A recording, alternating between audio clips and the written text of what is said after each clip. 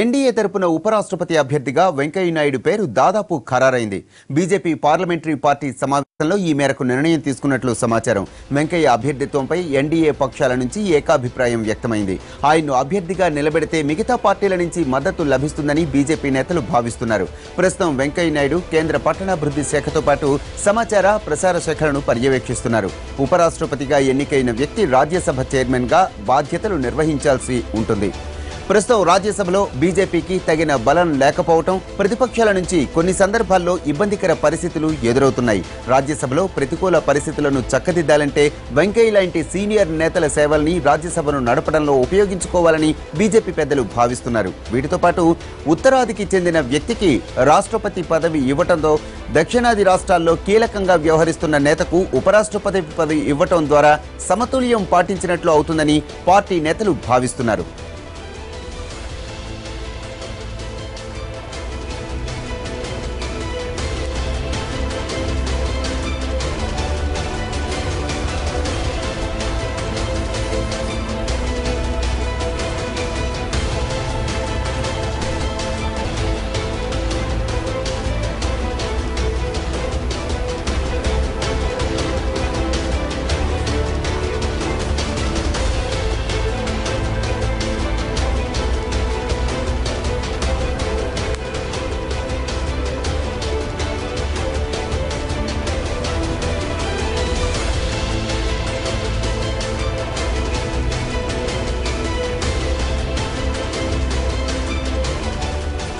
బీజేపీలో ప్రస్తుతం కీలక పదవుల్లో ఉన్న నేతలంతా ఉత్తరాది వారే.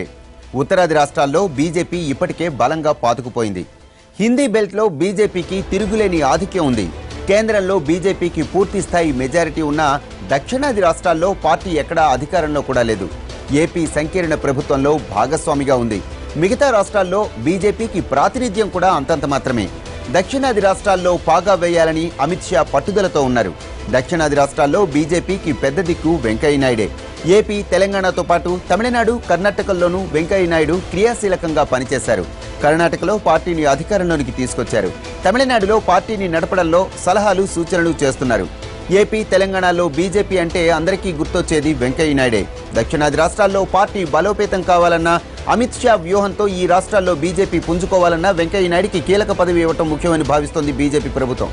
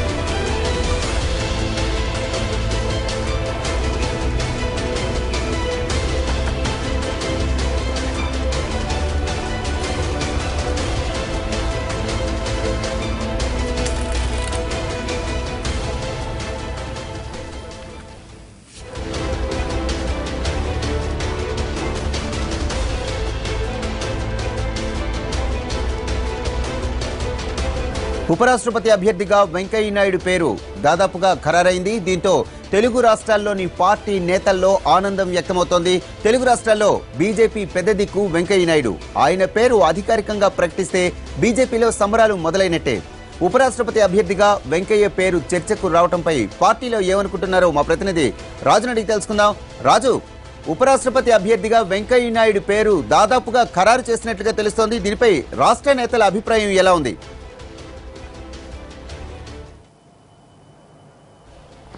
నిజంగా తెలుగు రాష్ట్రాలలో ఉన్నటువంటి బీజేపీ నేతలందరూ కూడా సంబరాలకు సిద్ధమవుతున్నారని చెప్పుకోవచ్చు. ఎప్పుడైతే అధికారికంగా వెంకయ్యనాయుడు పేరు ప్రకటిస్తారో ఖచ్చితంగా అటు పార్టీ ఆఫీస్ ముందు ఇప్పటికే బాణసంచ కాల్చేందుకు కావచ్చు అటు స్వీట్లు పంచుకునేందుకు కావచ్చు ఇటువంటి వాటన్నిటి గుణ వాళ్ళు సిద్ధమవుతున్నారు. ఎందుకు ఈ ప్రయత్నం ఇవన్నీ కూడా చేస్తున్నారు అనేది కనుక మనం ఆలోచిస్తే మొదటి నుంచి కూడా తెలుగు రాజకీయాల్లో ఏ విధంగానైతే తన సత్తా ఏంటి తన సమస్యల ప్రస్తావన తీసుకొచ్చినటువంటి విధానం ఏంటి ఎప్పుడైతే యూత్ రాజకీయాల నుంచి అంటే ముందు యూనివర్సిటీ నుంచి మొదలైనటువంటి వెంకయ్యనాయుడు నాయకత్వ పటిమ ఆ తర్వాత ఉదయగిరి నుంచి పోటీ చేశారు. ఆ విషయంలో ఈ మధ్య వెంకయ్యనాయుడు ఏదైతే ఎమర్జెన్సీ వ్యతిరేక దినం రోజున ఆయన స్వయంగా చెప్పారు. ఎప్పుడైతే ఎమర్జెన్సీ సమయంలో తాను జైలుకు వెళ్ళాను ఆ తర్వాత బయటికి వస్తూనే జనతా పార్టీ నుంచి ఎమ్మెల్యేగా పోటీ చేయాల్సి వచ్చింది. అంటే ఇటువంటి అవకాశం ఎవరికో రాదు. ఒక పార్టీలో తాను మొదటి నుంచి పనిచేసినటువంటి విధానం కావచ్చు నిబద్ధతగా నేనున్నటువంటి పరిస్థితులు కావచ్చు. వీటన్నిటి ద్వారా నేను ఏ రోజు పదవులు కూడా కోరుకోలేదు. వాటంతలు అవే పెద్దలు పిలిచి ఇచ్చారని చెప్తారు. ఏదైతే మొదట్లో వాజ్పేయి తన గ్రామానికి వస్తున్నాడంటే నేను ఆయన కోసం రిక్షాలో కూర్చొని వాజ్పేయి వస్తున్నాడు మీరంతా సభకు రావాలని చెప్పాను. వాల్ పోస్టర్లు అంటించాను గోడలపై రాతలు రాశాను. ఆ విధంగా కష్టపడుతూ ఎటువంటి పొలిటికల్ బ్యాక్గ్రౌండ్ లేకుండా ఈరోజు ఫస్ట్ మొదటగా ఆయన ఏదైతే జాతీయ అధ్యక్షుడిగా రెండు సార్లు ఎన్నికయ్యారు అప్పటితోనే పార్టీలో క్రమశిక్షణగా పనిచేస్తే సరైన పదవులు వస్తాయనేది చెప్పడం జరిగింది. ఇప్పుడు పార్టీ నేతలందరూ కూడా అదే ఆలోచనతో ఉన్నారు. ఏదైతే ఒక కమిట్మెంట్తో పార్టీ కోసం పనిచేసినటువంటి నేతకు ఈరోజు ఉపరాష్ట్ర పదవి ఇస్తున్నారంటే చాలా ఆనందంగా ఉందంటూ వాళ్ళంతా కూడా ఇప్పటికే మనం ఎవరెవరితోనైతే ఫోన్లు చేసి తెలుసుకుంటే వాళ్ళందరూ కూడా చాలా సంతోషంగా వాళ్ళ అభిప్రాయాలను వ్యక్తం చేసినటువంటి పరిస్థితి. ప్రధానంగా ఈ హైదరాబాద్ నుంచి కూడా ఆయన పార్లమెంటుకు పోటీ చేశారు. అంటే ఏదైతే పార్టీ విస్తరణ కోసం కావచ్చు పార్టీ అభివృద్ధి కోసం కావచ్చు పార్టీ ఉన్నతి కోసం కావచ్చు ఏ సమస్య వచ్చినా సరే వెంటనే వాలిపోయేటటువంటి నేత. అంటే అతను ఉదయం ఢిల్లీలో పార్టీ వ్యవహారాలు చూసుకోవడం లేదంటే వెంటనే ఇంకో రాష్ట్రంలో ఏవైనా సమస్యలు ఉంటే అక్కడికి చేరుకోవడం ఆ తర్వాత ఏపీకి రావడం. ఇలా ఎన్నో సార్లు రోజుకు మూడు నాలుగు రాష్ట్రాలు తిరుగుతూ కూడా ఎప్పటికప్పుడు పార్టీ సమావేశాలను నిర్వహించినటువంటి ఘనత వెంకయ్యనాయుడిది. ఈ- ఏదైతే నాలుగు సార్లు రాజ్యసభకు వెంకయ్యనాయుడు ఎన్నికవడం ఇప్పటి వరకు పార్లమెంట్ చరిత్రలో కూడా ఈ పరిస్థితులు లేవని చెప్పుకోవచ్చు. ఏ విధంగానైతే మనం చూస్తున్నామో పార్లమెంటు రా- రాజ్యసభలో ఇప్పటి వరకు అంటే మూడోసారి ఎన్నిక అయిన తర్వాత ఇక నాలుగోసారి ఉండదంటారు. కానీ పార్టీ కోసం ఆయన చేసినటువంటి కృషి పార్టీ కోసం ఆయన చేసినటువంటి అభ్యున్నతి వీటన్నిటిని కూడా దృష్టిలో పెట్టుకొని పార్టీ కూడా ఒక ఆయనకు సరైన పదవులు ఇచ్చి గౌరవిస్తుందని చెప్పడానికి ఇది కారణమని చెప్పి పార్టీ నేతలంతా కూడా అనుకుంటున్నారు. ఎక్కడ సమస్య వచ్చినా సరే